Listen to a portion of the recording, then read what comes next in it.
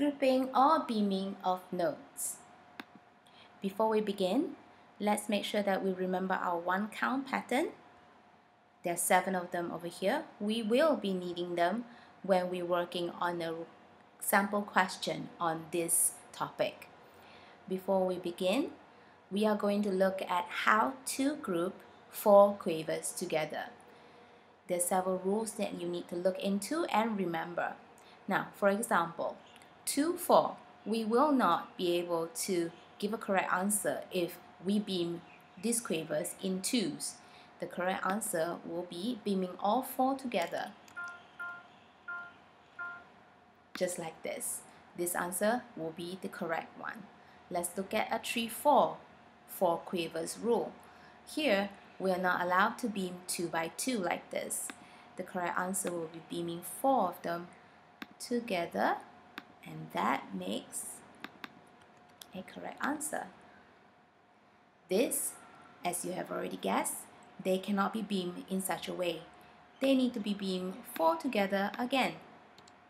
And that makes the correct answer. Same thing here. For 3-4, when there are all quavers in the whole bar, we are to beam all six together. And now the answer is correct. Now for 4-4, almost similar rules apply. The four quavers here will be have to beam together to look like this. Now, here you will see first and the second beat and an invisible division here with the third and the fourth beat quavers beamed together. Now when this case happen, we're going to do the same thing. We are going to beam the first four quavers together and these other two crotchets. Again, you will see first and second beat, invisible division, third and the fourth beat. Now, unlike 3-4, when you see six quavers, you cannot beam them together for 4 4 for crotchet beats in a bar. Here we're gonna have to beam it this way so that the first and the second beat is together, invisible division, and then the third and the fourth beat together. First, second beat, invisible division, third and fourth.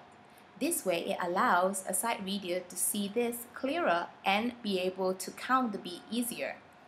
Same thing apply here. Six quavers, we're going to do the first and second beat quavers together and then followed by the next two quaver pair up with the crotchet.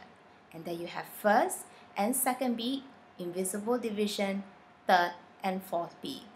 When you have eight together, same rule applies.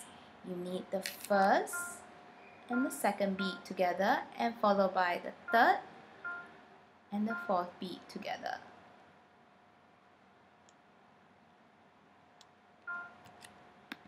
So first and second beat, invisible division, third and fourth beat.